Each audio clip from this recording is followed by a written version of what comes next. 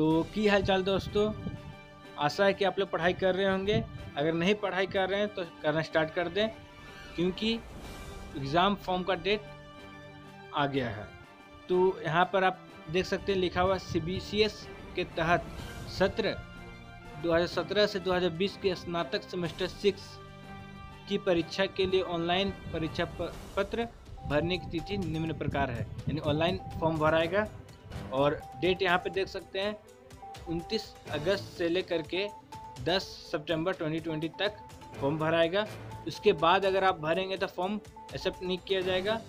इसका ज़िक्र किया गया है नोट नंबर सिक्स में। यहाँ देख सकते हैं, लिखा हुआ है कि अगर उसके बाद अगर आप फॉर्म भरते हैं दस सितंबर के बाद, फॉर्म स्वीकार नहीं किया जाएगा।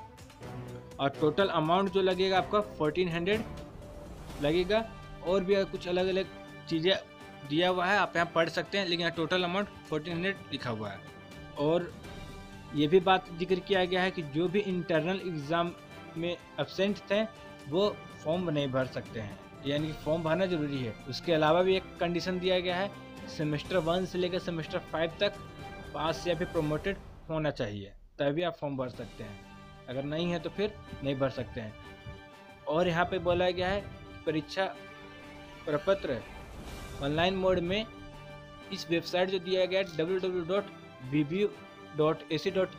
या फिर डब्ल्यू इस पर भी फॉर्म भर सकते हैं। और कुछ दिशा निर्देश दिए गए हैं ए से लेकर के के तक आप यहाँ पे पढ़ सकते हैं। फ़ोटो साइज़ के बारे में बात किया गया होगा साइन सारे चीज़। अमाउंट अमाउंट कैसे फॉर्म करना है, सारे चीज़ यहाँ पे ज़िक्र किया गया है। आप इसको पढ़ सकते हैं।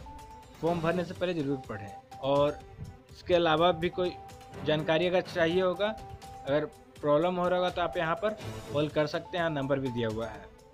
और वीडियो पसंद आई होगी, जानकारी मिल गई होगी तो वीडियो को ज़रूर शेयर करें अपने फ्रेंड्स के साथ, अपने क्लासमेट्स के साथ ट्यूशन मेट्स के साथ। और वीडियो को लाइक करें कमेंट करें। जल्द ही एक नए वीडियो में मिलते हैं, एक नए सूचना के साथ। तब तक के लिए पीस आउट